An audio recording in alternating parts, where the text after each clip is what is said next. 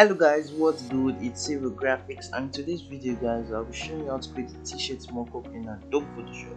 So if this is your first time in this channel kindly subscribe like comment share and don't forget to turn on notification so you get notified once i release new content. So let's get started. So the first thing here i'm going to do now is to duplicate this t-shirt layer by pressing ctrl j on your keyboard and name this layer shadows the next thing i'm going to do now is to take the rectangle tool now draw out a square to fill up the space. Now let's change the color and click ok. So the next thing here is to take this rectangle below the shadows. Now right click and create clipping mask. Go to the shadows layer and change the normal to multiply. So now we're going to add a little bit of adjustment to the shadows layer. So you go to your adjustment layer. So this is it your adjustment. Now go to levels.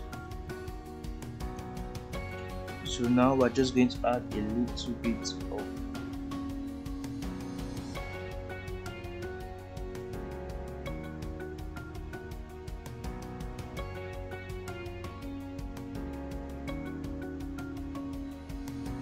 also go to your adjustment layer and go to curves let's take this up a little bit. And we are good. So after doing that go to your control select the curves levels and shadows layer and control g to group them. And name this layer shadows. Okay? So that is the shadows layer. So now I want to add a little design on the shirt. So this is already made design. So I'm going to take it to the t-shirt. Now control T for free transform. So I'm resizing it. So you press Ctrl T on your keyboard to resize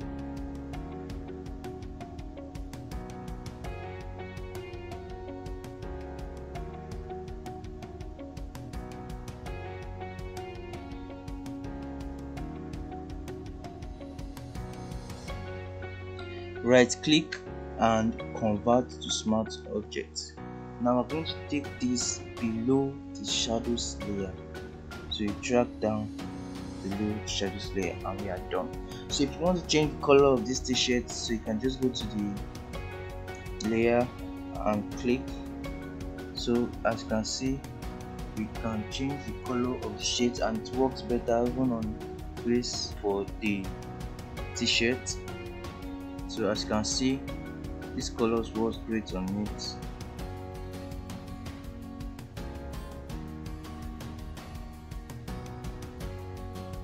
To any color of your choice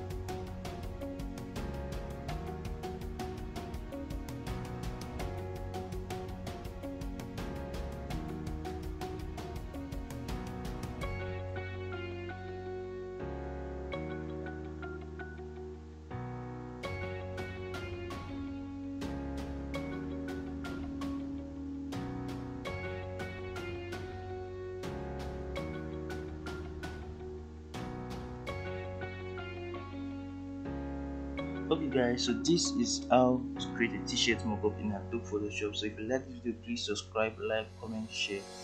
And don't forget to turn on notification. I'll see you guys in the next video. Thank you for watching